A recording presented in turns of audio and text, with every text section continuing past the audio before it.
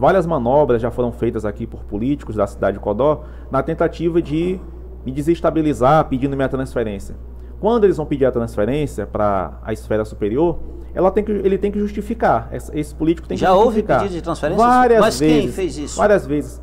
Leandro, eu faço oposição aos dois grupos políticos que tem Mas na aqui cidade. você pode citar nome, não tem problema nenhum. Ah. Quem foi que pediu a sua cabeça de Codó para outro município? Em 2018, eh, minha cabeça foi pedida pelo Chiquinho Oliveira. Inclusive foi o empresário matéria- Alcio Oliveira pediu foi, sua cabeça? Foi matéria no blog do Dissar, essa, essa tentativa de transferência.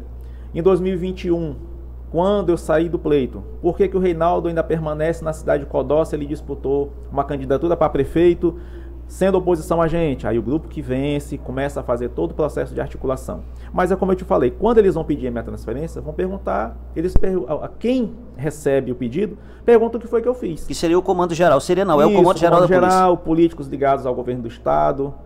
Quem recebe esse pedido pergunta: o que foi que ele fez?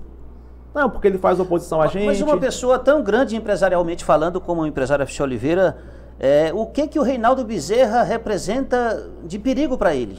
Leandro, eles fazem pesquisas. Eles trabalham com dados, trabalham com todo o contexto político. E dentro dessa preocupação deles é o crescimento da gente que é pequeno, conquista espaço, conquista pessoas, consegue simpatizantes daquilo que a gente defende. E aí eles nos têm como uma ameaça iminente, inclusive para que possa até prejudicar um pleito eleitoral, um, um interesse político que eles venham a ter.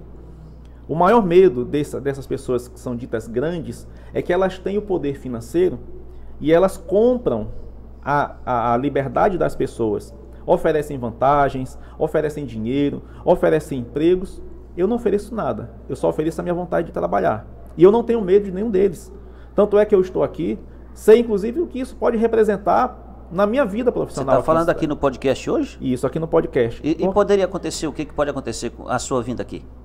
Quando a gente re- se dispõe, predispõe a falar aquilo que a gente pensa e a falar a verdade, a gente vai incomodar alguém.